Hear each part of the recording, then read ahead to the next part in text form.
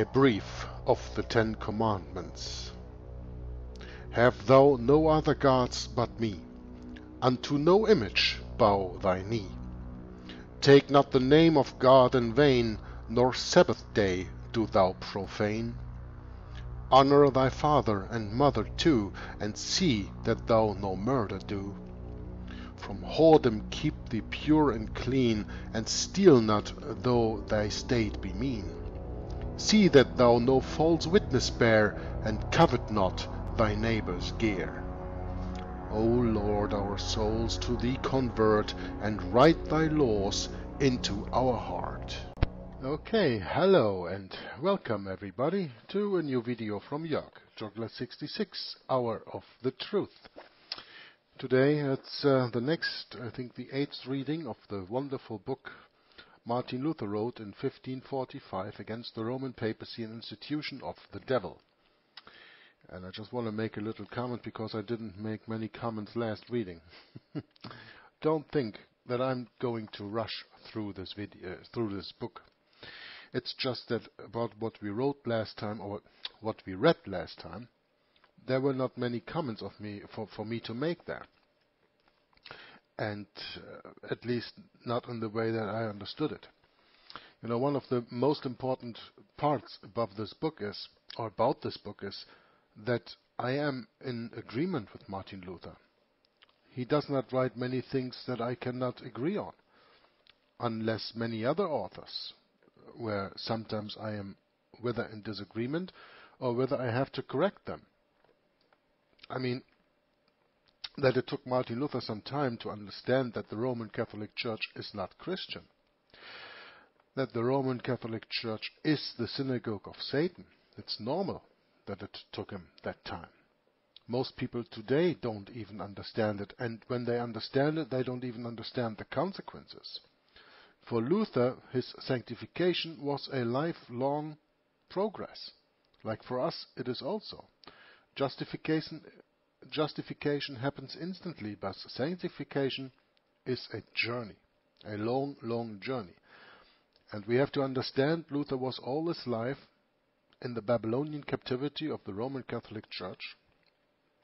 And of course, there was here and there a little leaven left in him. But who can speak himself free of that, huh? Not so many, I guess. So the point is, when I have to make comments because something is not clear, or when I have to make comments because I am in disagreement, I will. It is not my um, my goal to rush through this book and to read 10, 11, 12 pages every time we sit down for an hour. But when that happens, like last time, it just happens. You know? It's not planned that way.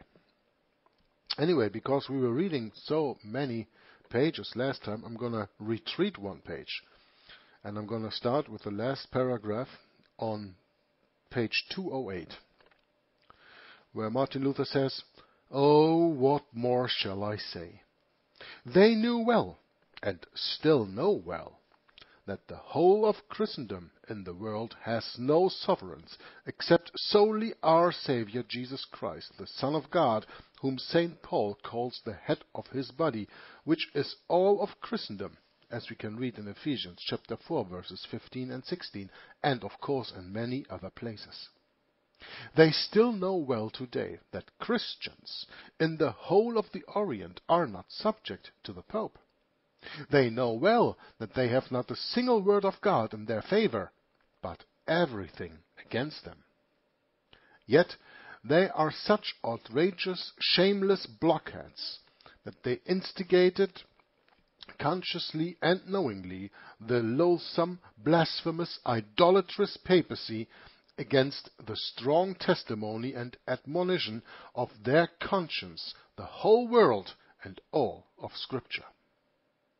Moreover, they still maintain it, while at the same time they condemn as heretics all their predecessors before Boniface III, along with the whole of Christendom which existed for six hundred years before the Pope, including all the Holy Fathers and Councils, and all the Christians who have existed these fifteen hundred years up to the present day in the lands of the East. I'm going to make a little comment because I don't know if I did that last time, but you, heard me saying about this 1260 year or day prophecy, three and a half years, 42 months, the reign of the Antichrist, that authors like Alexander Hislop, Henry Grattan Guinness, and in this case also Martin Luther say that this 1260 day reign was from 606 through 1866, and the SDA is teaching 538 1798. Now, I don't say that 538 1798 did not happen, but you, I had a little conversation with Brett Norman the other day, and maybe he will put that out as a video, and then of course I will put that out on my channel too. I don't know yet. It was just a Skype conversation, conversation, and we were also speaking about that because I'm reading here about Boniface III again, so I have to bring that up one more time. Listen, I don't say that it is quote unquote diabolical to teach 538 1798 as the 1260 years. My point is that there are reasons to believe that maybe both dates are possible. 538 1798 and 606 1866. The question that one has to ask is the following. The Pope has two keys. One is for the spiritual power, the golden one, and one is for the temporal power, the silver one. It is, I think, generally agreed on that 538 was the time of the temporal power. Yeah? Because that was only when the Pope or the Bishop of Rome had been given power in Europe, in the western part of the kingdom of the Roman Empire. Yeah?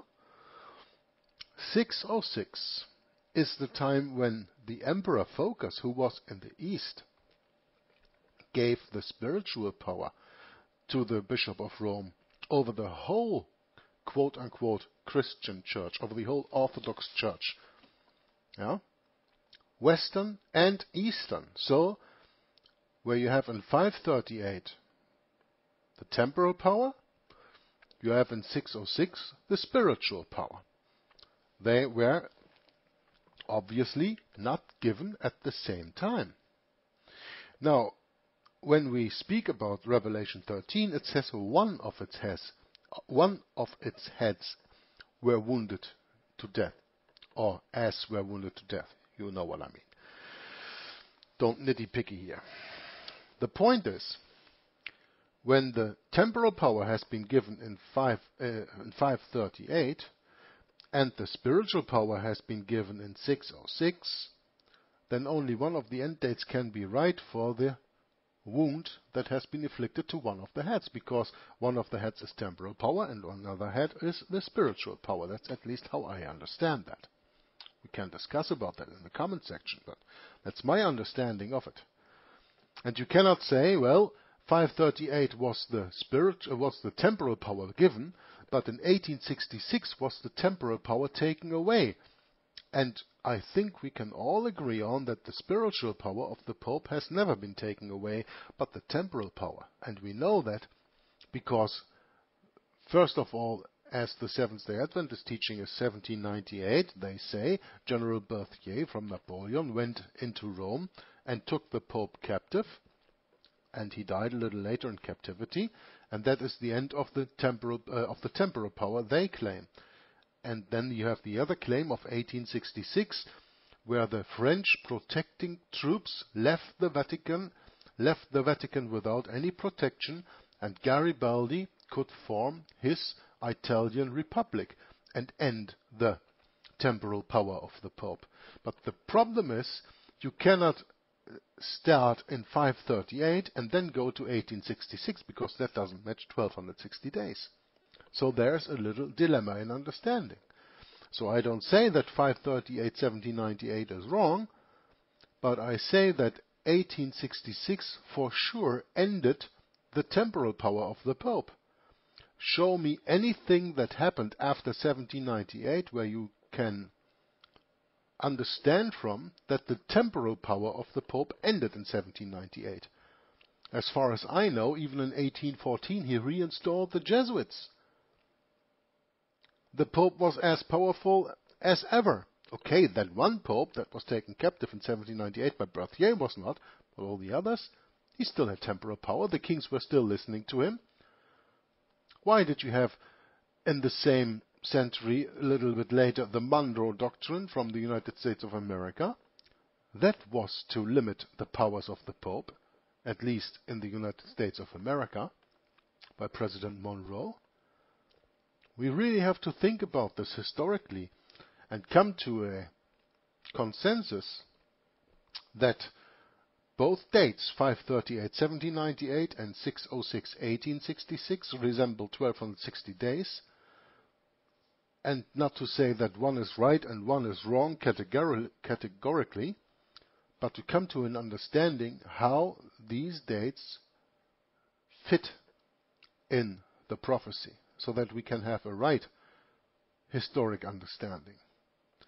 But one thing is sure, and this all in prophecy, all prophecy scholars agree on, and that is that the temporal power was taken from the Pope, not the spiritual, and that the temporal power was made manifest again with the starting of the Lateran Treaty in February 1929 when Mussolini gave the Vatican back its temporal power because the Republic of Italy accepted the Vatican as its own kingdom, and by that the Pope was accepted as king, and the Vatican City is his kingdom, and that gave him back his temporal power. That is without any discussion. Okay? So every time when Martin Luther here speaks about Boniface the Third, and mentions him as the quote unquote first pope and every, everyone before them just the bishop of Rome, like Gregory the Great, who we know did that um, that quote that he said the bishop of Rome or the bishop who will take the title universal bishop will be the precursor of Antichrist before him.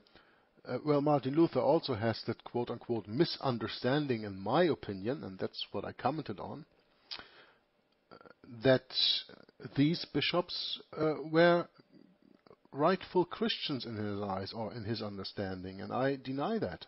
There was no rightful Christian bishop in the church from the time of 321 after the baptism of the, the holy uh, of the holy of the pagan Roman Empire with Christianity on through Constantine. And even then in the few centuries before that apostasy was luring and in the churches. So, but I don't want to go into a very, very long discussion about that because you, know, you see, now is a comment that I really have to make, and that's even about something that I read last time. But this is a very important point to me because I don't want to be understood as someone who bashes the SDA, but I'm going to tell you that a lot of things that the SDA teaches are not completely righteous. And um, well, then you have to think about it. You know, people like Walter Veith, people like uh, Bill Hughes, why do they never mention the period of 606 through 1866? Because they don't know it?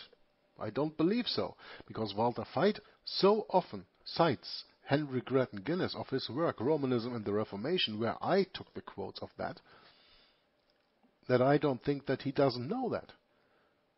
But if you willingly don't speak about something that you know, that means that you don't say everything that you know, and that means that you hold back and that is the same as lying, and that is not Christianity.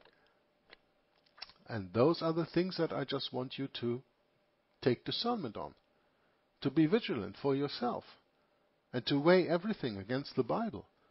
And when you have knowledge of a Bible prophecy that nobody else speaks about, well, then the question is why does nobody else speak about it? Because you're wrong, or because you're right and nobody else wants you to know? That's the question that I'm asking. Why does nobody out there speak about the period of 606 through 1866? Why does nobody ever mention Emperor Phocas and he giving the uh, spiritual power to the Pope in Rome? Also over the Eastern Church in Constantinople in 606 607. That's the question. Why does nobody mention that and those 1260 days?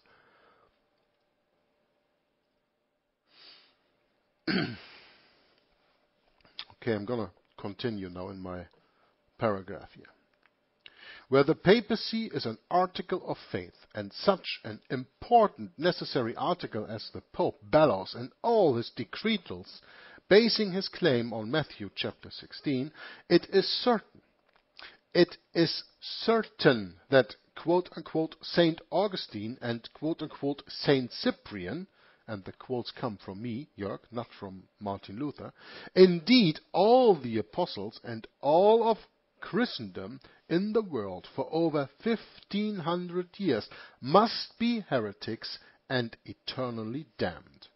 And along with them, Christ Himself, who taught them these wicked heresies through His Holy Spirit. No one has been saved nor become holy except the papal Christians. Well, that's a way that you can call Catholics. Papal Christians. You have biblical Christians and you have papal Christians. Which one do you choose?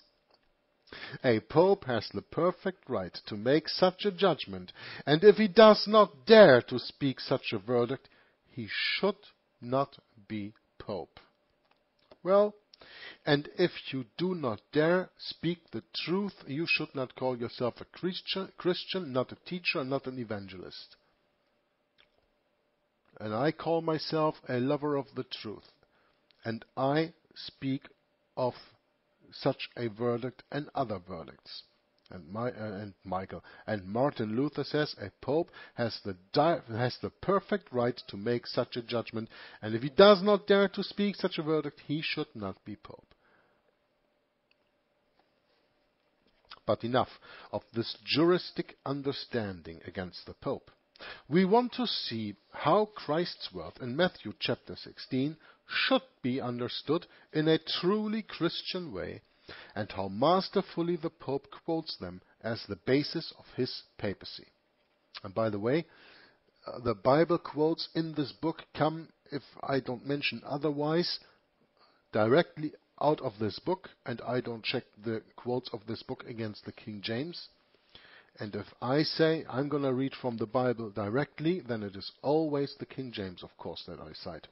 But that Bible, of course, was not in existence at Luther's time. And when I cite from the German Bible, you're not helped with that because that you don't understand. anyway, in John verse 6, verse 63, the Lord says, quote, The words that I have spoken to you are spirit and life, unquote. Accordingly, the words in Matthew 16 must also be spirit and life, namely when he says, quote, On this rock I will build my church. Unquote. Build must here mean a spiritual, living building. Rock must rock must be a living, spiritual rock. Church must be a spiritual, living assembly, indeed so alive that all of it lives eternally. For the flesh is of no avail, etc., as we can read in John 6:63. It dies and does not live eternally. Now, this rock is solely the Son of God, Jesus Christ, of whom the scripture is full, and no one else. And we Christians know this full well. We Christians know this full well. The Catholics don't. To build or to be built on this rock is something that cannot be done with laws or good works. For Christ is, Christ is not grasped by hand or works, but must come through faith and word. Thus, the church cannot, through itself or its own works, make itself spiritual or living. Instead, it is built on this rock through faith, and thus is spiritual and living as long as it remains built on the rock, that is, until eternity. You see, you see from this that Christ means in this saying exactly the same thing as he says in John 11 verse 25, quote, I am the resurrection and the life. Whoever believes in me shall never die. Unquote. And again, In John 8 verse 51 he says, quote, If a man keeps my saying, he will never die. Unquote. And in summary this text, Matthew 16 speaks of faith. He who has faith is built on this rock, as one says, quote, He who trusts God has built well. Unquote. Note this well, I say, that in Matthew 16 Christ speaks of faith and not of our works. For thereby it will become evident what a little pious panzer, a prancer the Pope is. Yeah? He who trusts God has built well. That's a nice title for the video. I took the same in German in the time. Wie Gott trauft, heeft wel was the title in German. So, he who trusts God has built well. Note this well, I say, that in Matthew chapter 16 Christ speaks of faith and not of our works, for thereby it will become evident what a little pious prancer the Pope is. Okay? Thus, St. Peter himself, whom the scoundrels would have liked to make Pope in Rome, or even Christ himself, as Platina does, we read this in a little footnote that Luther regarded Platina as the prototype of papal historians. And we can read that in Schaeffer, uh, History of Protestantism, I think is the book that Schaeffer wrote.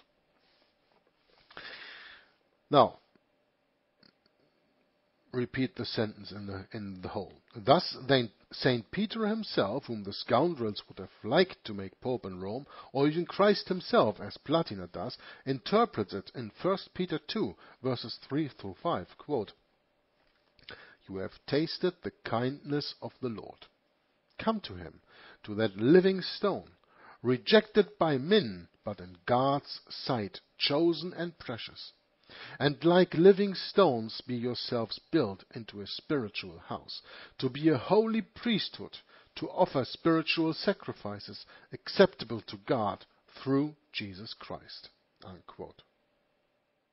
But soon afterwards, St. Peter proves through the prophet Isaiah 28, verse 16, that building on the stone or rock is faith in Christ, saying, quote, For it stands in Scripture, Behold, I am laying in Zion a stone, a cornerstone chosen and precious, and he who believes in him will not be put to shame.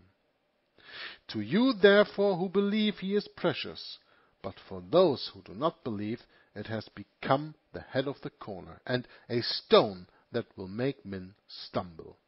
Even to them that stumble at the word and do not believe him upon whom they have been founded. 1 Peter 2, verses 6 through 8.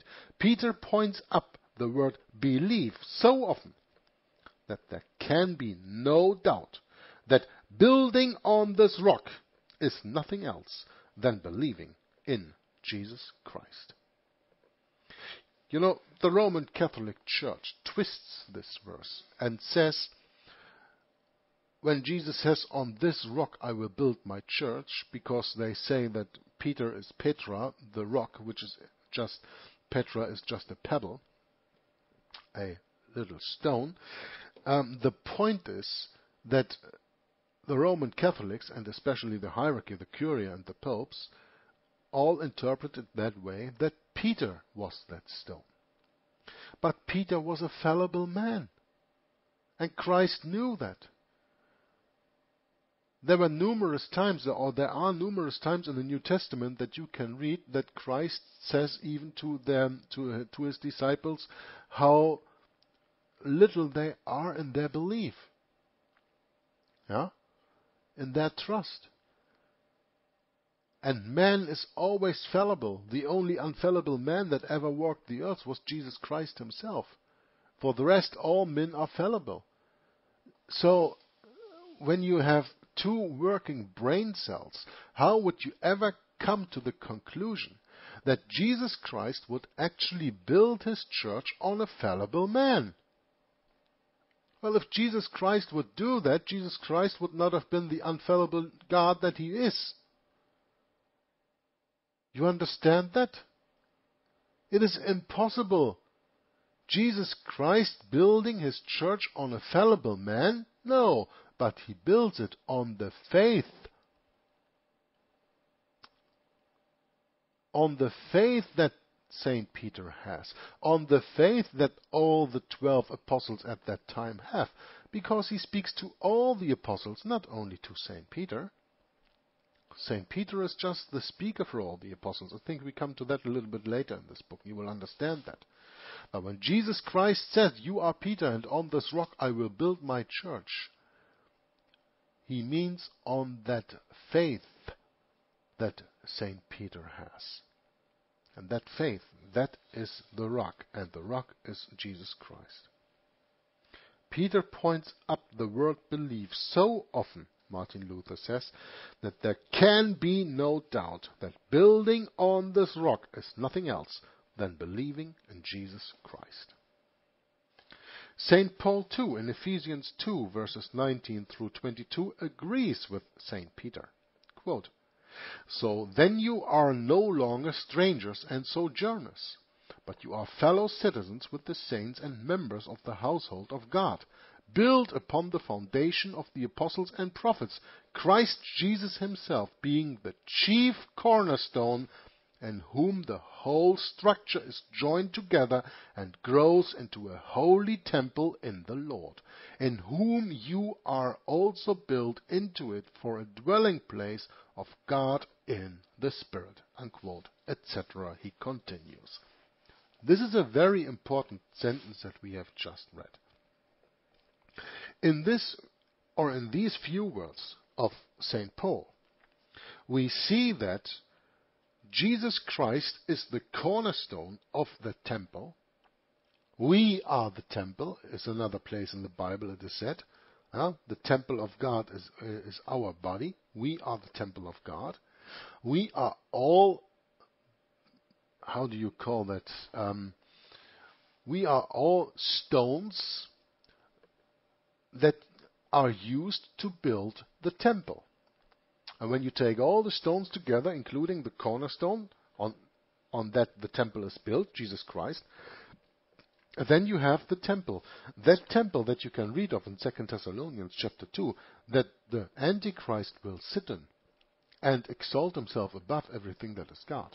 Meaning that the Antichrist comes out of the true congregation, out of the church. And this is what St. Paul here says in other words. Let me repeat this here. And this is as it is written in the book, Ephesians chapter 2, verses 19 through 22.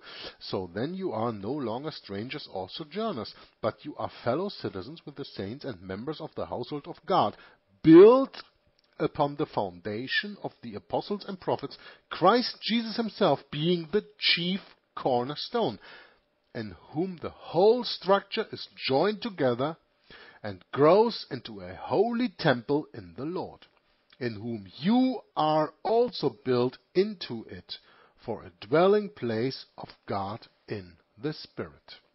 Unquote. So the point that I want to make is that we are all bricks.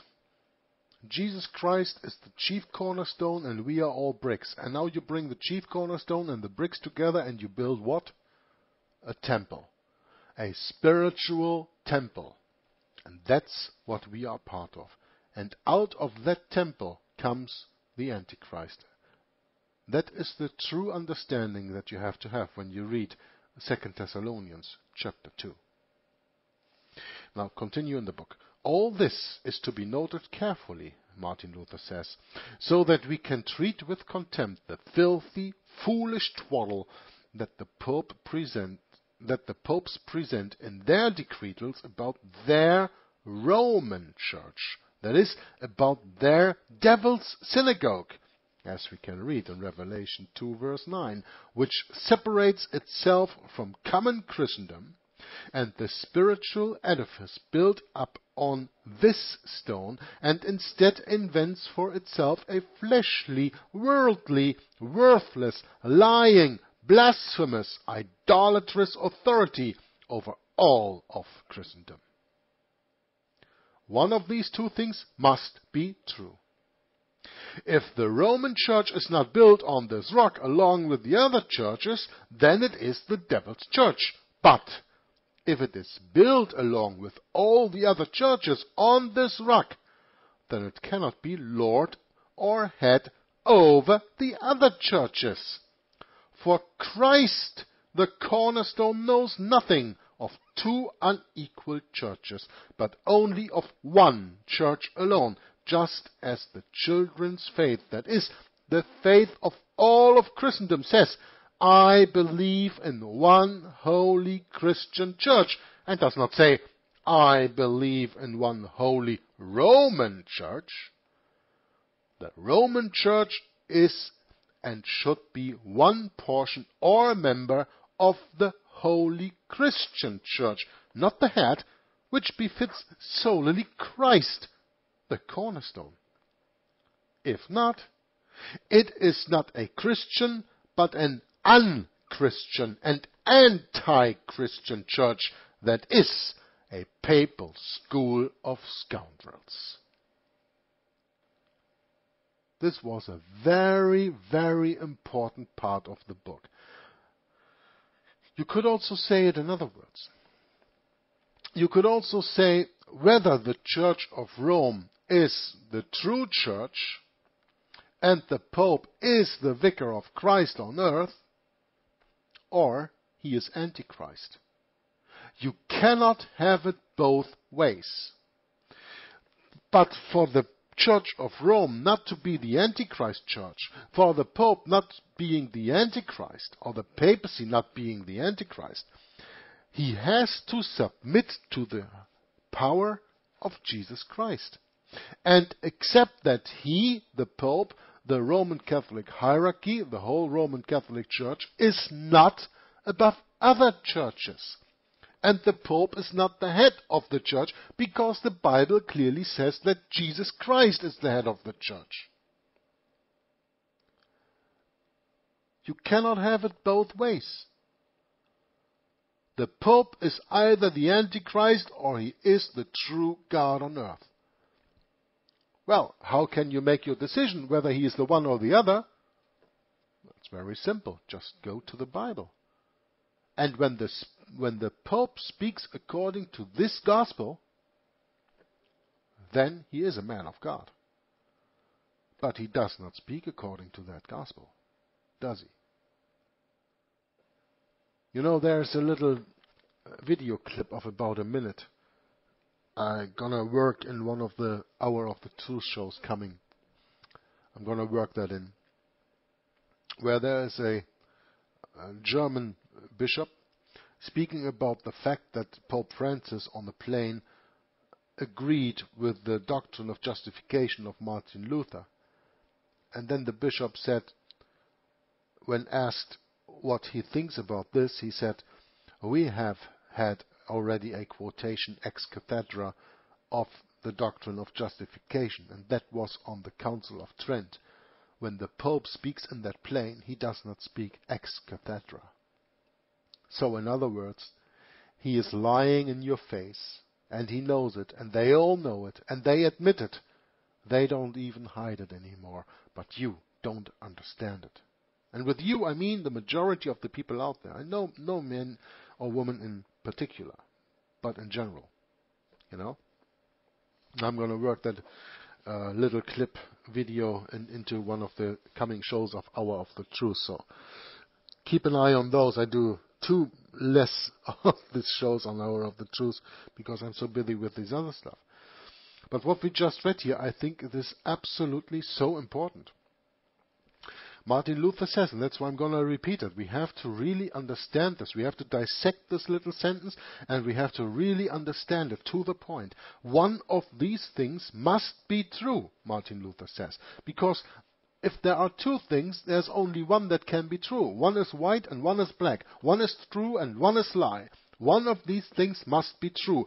If the Roman Church is not built on this rock, along with the other churches, then it is the devil's church. But if it is built along with all the other churches on this rock, then it cannot be Lord or head over the other churches. For Christ, the cornerstone, knows nothing of two unequal churches. What, why does he say unequal churches? Well, because the one church lifts itself up above the other. But all the churches in God's sight and Jesus' sight are equal. We are all equal. We are all brethren. We are all brothers and sisters, and Christ is our head. There is not one brother standing above the other. Oh, the one maybe have a title, an academic title or whatever, and the other does not, but that doesn't make him better. Because when you're a professor of, I don't know, teaching science, and you don't have a peasant that produces bread, you have nothing to eat and you're gonna die with your professorship, right?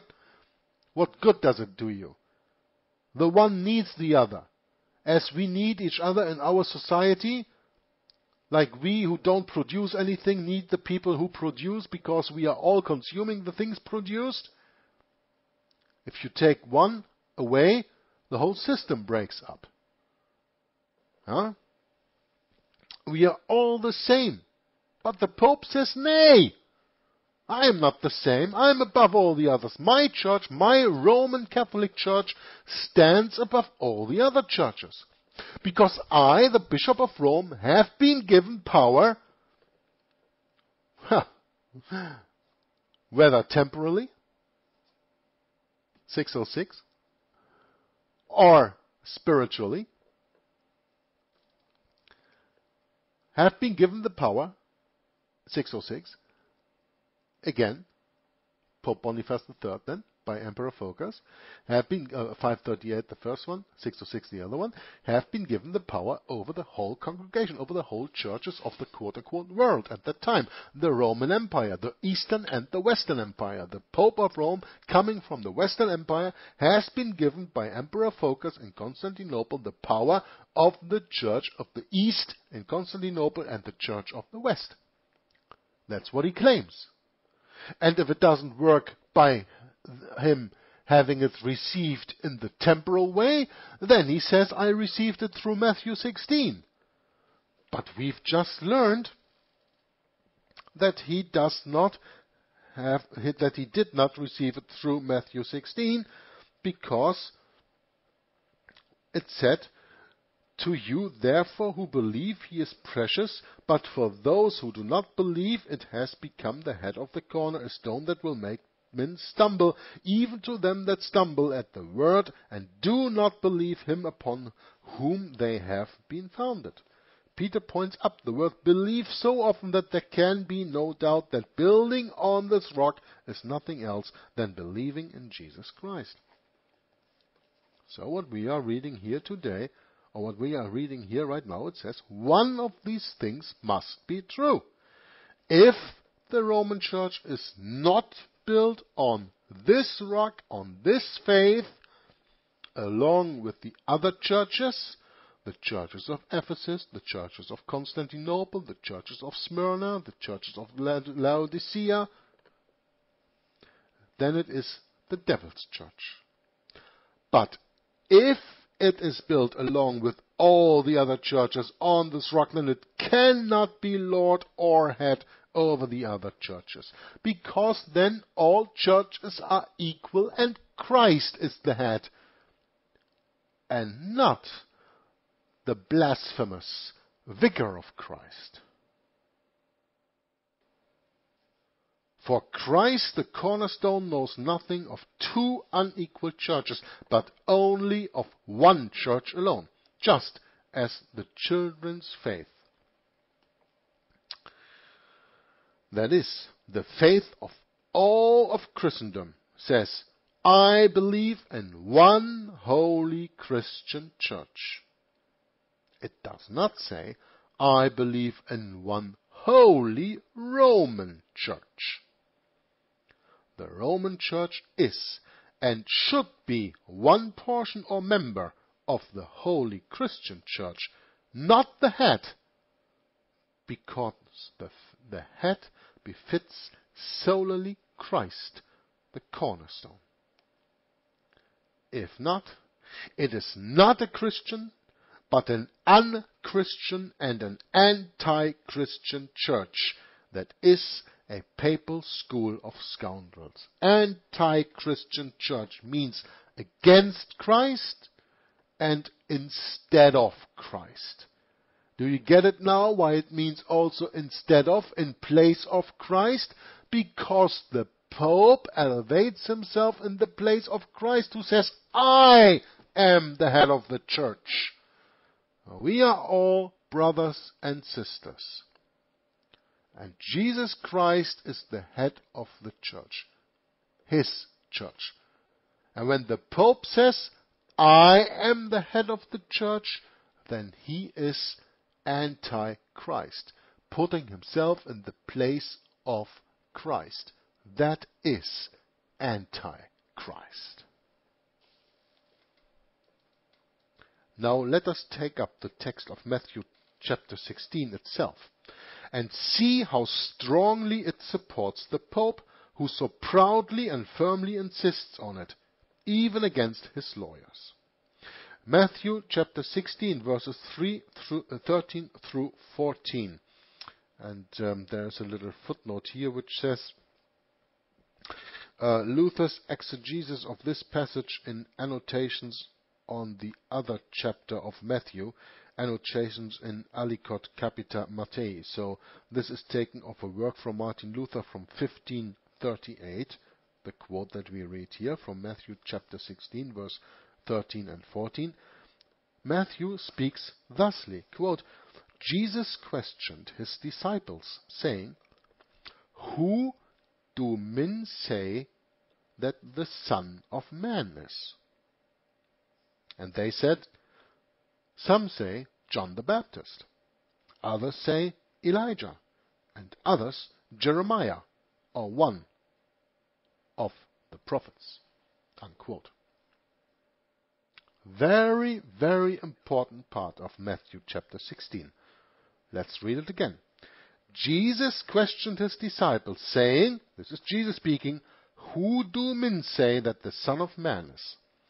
And they said, meaning his disciples, all twelve were together, and they said, Some say John the Baptist, others say Elijah, and others Jeremiah or one of the prophets. Now, this should not know, uh, this should not now be followed any further. You can read about it in St. Jerome. Um, that is in the commentary of the Gospel of Matthew in the Commendatorium in Evangelium Matthaei. Um, another work where you can read about that.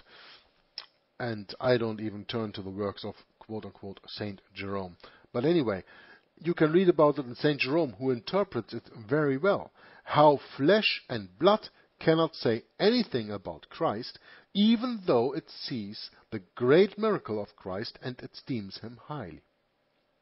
Furthermore, Christ does not ask what the people think, but what they themselves, the disciples, think of him, and says, who do you say that I am? In verse 15. Now here it gets interesting. Very, very interesting, and you really have to pay attention to get the point. Notice here that he asks all of them, yeah? 12 disciples, all of them together.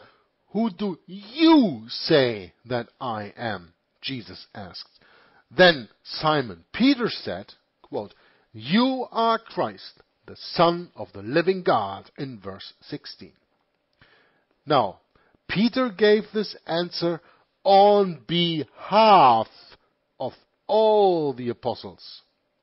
For when a crowd is asked something, and Jesus addressed all twelve apostles at that moment, they cannot all reply at once. Rather, one must speak for the sake of all, as is said. Quote, Two can sing at once, but they cannot talk at once. Yeah? That's a German proverb. In German it says, Zween mögen miteinander singen, aber miteinander können sie nicht reden. This comes from the German Sprichwörtersammlung of, uh, collection of proverbs. Yeah? Two can sing together, but they cannot talk together. They can sing at once, they cannot talk at once. Yeah. You have that. A, a duo can sing together, but without preparation, speaking the same words together, not possible. That's why when you are in school and the teacher asks a question to the whole class, what do you have to do before you answer? Remember? You have to raise your arm. And then the teacher chooses you and when you when he asks a question like Jesus does that they are all in agreement with, then the one who is chosen speaks for all the children, for all the pupils in the class. Sorry. So, two can sing at once, but they cannot talk at once. That is why the fathers, Augustine, Cyprian, and Chrysostom, rightly say that St. Peter was the mouth of the apostles and answered in the name of all, for they had all been asked and owed an answer. This is the point. Now, the Pope takes this and turns it 180 degrees around. The Pope says that Jesus only addressed Peter, and that Peter answered, and that therefore Peter is the rock on that he will build his church. That is the Pope's explanation of it. But when we read the Bible as it is written, and we understand the Bible as it is meant by God to be understood, and we Oh, sorry, I had to cough there. Uh, now I have to pick it up again. I'm sorry. When we read the Bible and understand the Bible as it, as it was meant by, by God, then we know that Jesus Christ here addressed all his apostles, all his disciples at the time. Huh? They were disciples, they were followers of Christ. Because he was gathered with them together, and he asked the question to all of them now, at that time, those people had quite an education, and they know that it is not nice when one speaks above the other. So therefore, one had to be the mouth of them all. And that mouth was Peter. And that's all. Therefore, nothing has been promised to Peter that has not been promised to the others. The point is that the Pope totally turns this around, this teaching, and makes it look and sound the way that he is the only righteous successor of Peter who has been given the power of the keys at this moment because only Peter said in reply Where does it say here? You are the Christ, the Son of the living God. Only Peter says it. Th- that's what the Pope claims. But the understanding that Martin Luther wants to give us here, that we, the way that we have to understand the Bible is that Peter said that you are the Christ, the Son of the living God, but not of only his own conviction, but as the mouth of all the twelve disciples. So I'm going to read this little part in the book again. Christ does not ask what the people think, but what they themselves. So he doesn't care about all the people in Judea at that moment. He wants to know what they say, the disciples. What do they say? What do they think? His disciples of him. And says, Who do you say I am? Now, you is a word that you can address one person at and you can address a whole bunch of persons at. So when Jesus, the teacher, is standing in front of his disciples and asking that questions, what do you think? Does he take anyone out there in particular? Is he in a private conversation with only Peter or with only one of the disciples? Or is he addressing all the disciples? Well, I think the latter applies, right? Who do you say that I am? Notice here that he asks all of them together. Who do you, all of you together, who do you twelve, my disciples, say that I am? And then Simon Peter said, You are the Christ, the Son of the living God. Peter gave this answer on behalf of all the apostles. For when a crowd is asked something, they cannot all reply at once. Rather, one must speak for the sake of all. As is said, two can sing at once, but they cannot talk at once. That is why the Fathers, Augustine, Cyprian, and Chrysostom, rightly say that St. Peter was the mouth of the apostles and answered in the name of all, for they had all been asked and owed an answer. You know what Jesus Christ could have done also to make it even more clear for the, even the biggest scoffer and doubter to be understood? He could have said, What do you, Jude, think I am? Or do you say I am? And what do you, James, say I am? And what do you, John, say I am? And what do you, Peter, say I am? He could have addressed them one by one by one, and he would have gotten twelve, twelve times the same answer. But he didn't do that. He addressed them all at once, and Peter was the mouth of the apostles and answered in the name of all, for they all had been asked and owed an answer. This is why the Pope here lowers his guard and builds on the rotten foundation that because St. Peter alone replied he was the Lord over the other apostles of the Pope and the Pope over all the world. You get it? Read it again. This is why the Pope here lowers his guard, and um, there is a little footnote in here, but um, that's not so. That's not important.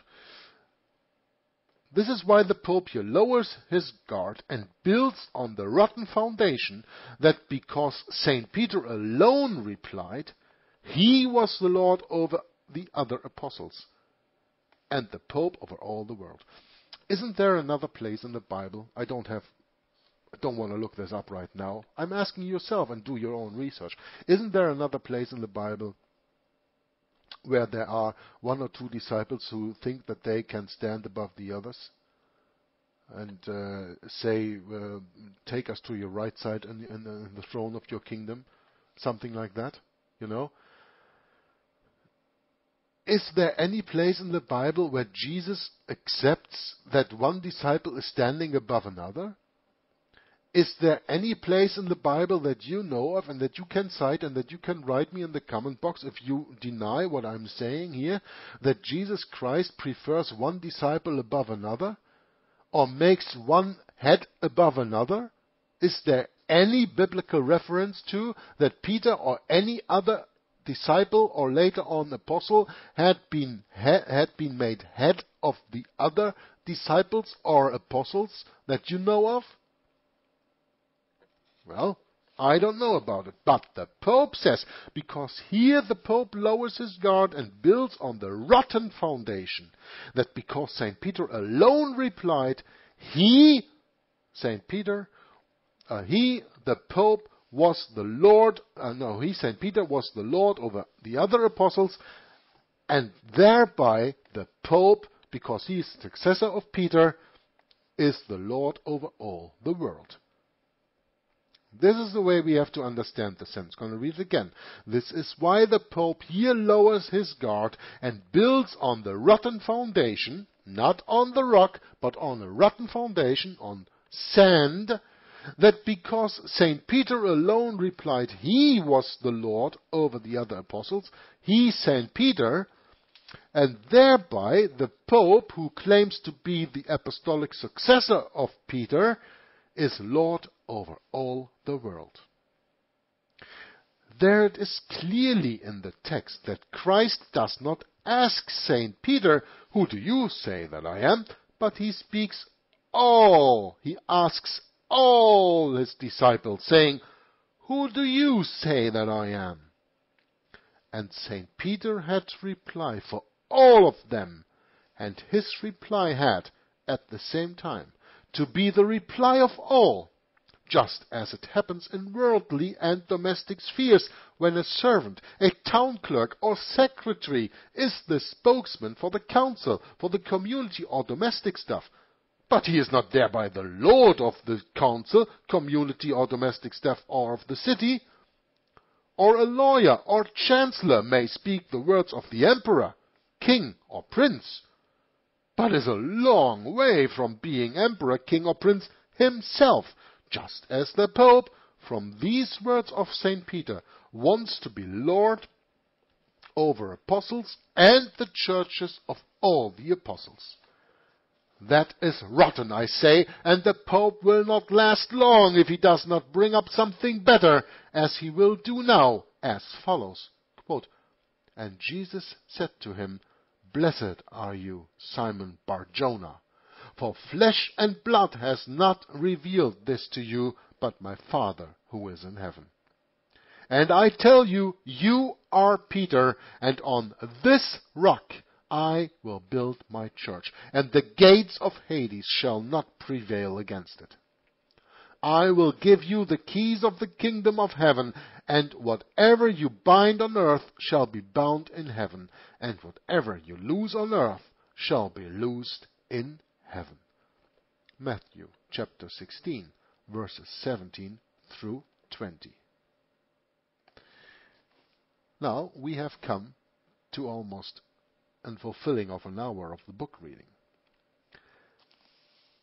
And of course, you know that I will not go into dissecting this very last paragraph now.